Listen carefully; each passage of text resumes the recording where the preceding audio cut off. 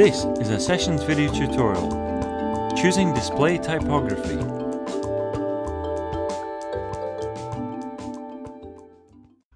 Display typography appeals to the emotions more than the intellect. It doesn't lecture plainly from behind a wooden desk, but entertains on stage with tap shoes and a song. Display type has personality and is key to developing the visual identity of an individual, institution, corporation, product, or service. Choosing a display type isn't always easy, however. There are a lot of choices with a lot of personality. However, with a little bit of practice, you start to recognize the various traits of the typeface.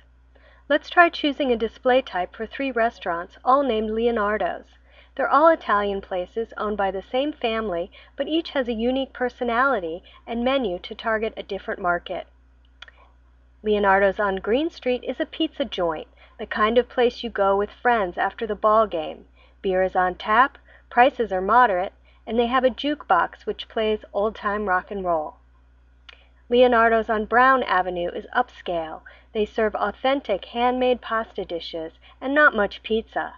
Red wine is the popular accompaniment. Jazz is played on Friday. Leonardo's on White Boulevard is almost like fast food. Pizza by the slice and a fun place for family and kids. Coca-Cola served here. Top 40 pop music is piped into the dining room. Here are 10 display typefaces. Consider the idea that a notion of identity can be communicated through the body language of typography, its posture, cadence, and verve. Some words come to mind when I look at these faces. Elegant, fun, zany, quirky, austere, no nonsense, grungy, casual, upscale, modern. So which would you choose for which Leonardo's restaurant? Here's which ones I would choose and why. For the upscale Leonardo's, I'd use typeface 5 or 1. Both have an elegant demeanor. They're serif faces and classical in feeling. For the fast slice Leonardo's, the best choice might be 3. It's certainly a fun and gestural face, but all of its quirks might get distracting after a while. For the beer and pizza Leonardo's, I'd look for a casual and friendly face, like a good buddy. I keep getting drawn to number 10. It's sort of middle of the road and unpretentious. Remember that selecting a face is only the first step in a design.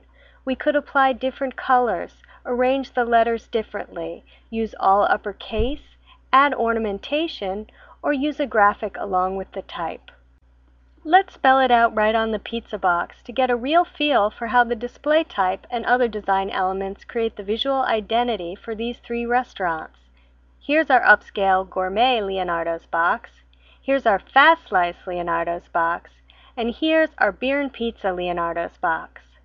Okay, hopefully you understand a little bit more about using display typography to develop visual identities. Now take a break and go get yourself a slice. you